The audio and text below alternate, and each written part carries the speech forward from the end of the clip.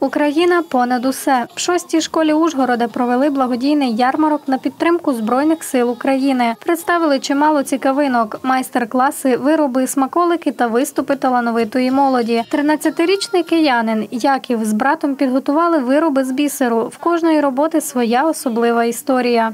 Ленточки я навчився робити в Іванкові під Києвом, який недавно був під окупацією. От так. От бісером ми займалися в Тернополі, там е, робили бісери. Такі от вироби. От е, це така паличка.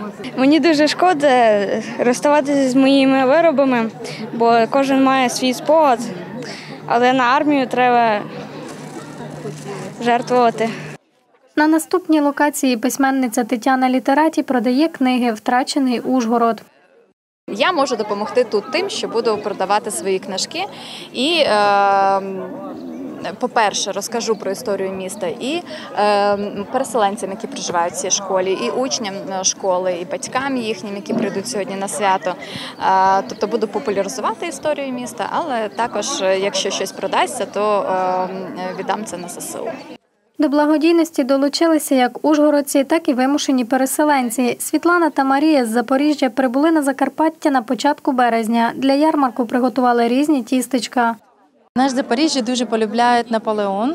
Це він дуже вкусний. Його одразу у нас розібрали. Це тістечка. Також ми спекли медовик і пражський тістечко. Вот.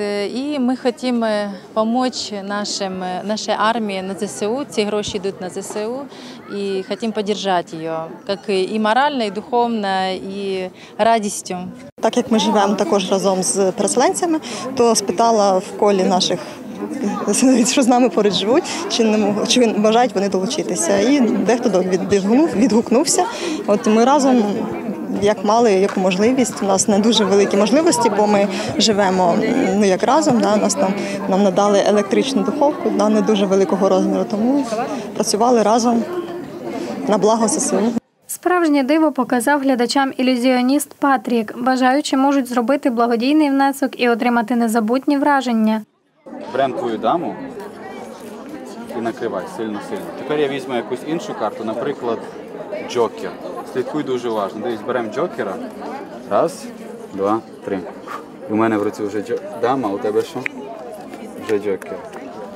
Зараз, на жаль, в державі такий час, що майже кожна людина стресує, а моє завдання піднімати людям настрій, бо навіть в такий час переймають тільки ті, які завжди на позитиві. Тому це дуже важливо, навіть в такий час.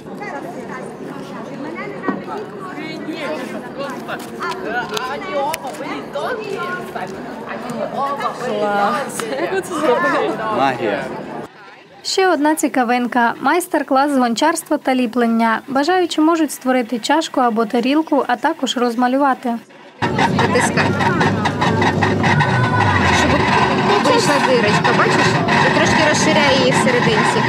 Такий захід організували в шостій школі вперше. До роботи залучили волонтерів та також митців в різних сферах. Активно долучилися і вимушені гості міста, яких прихистили в цьому закладі.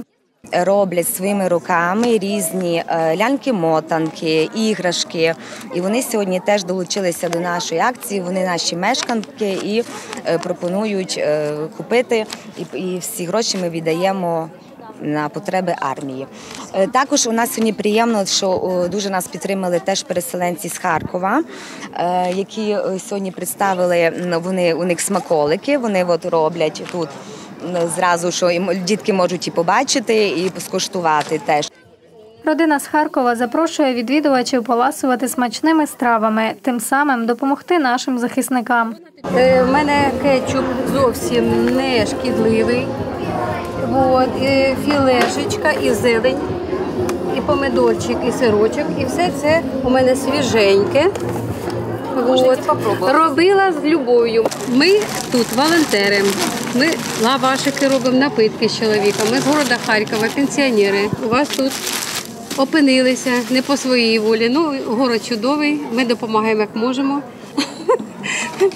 Тобто участвуємо активно. Росія не дождеться, щоб ми унивали. Ми виживемо, ми трудолюбивий народ, працьовитий. І у нас все вийде. У нас було все. І ми знову все купимо, відбудуємо. І тепер умніші будемо. Хто нам друг, а хто враг. Житло Надії зруйнувала ворожа атака. Зараз переселенка живе в Ужгороді, робить все можливе для перемоги України і дуже вдячна місту, яке її тепло зустріло. Ужгород, город Харків, привіт вам передає.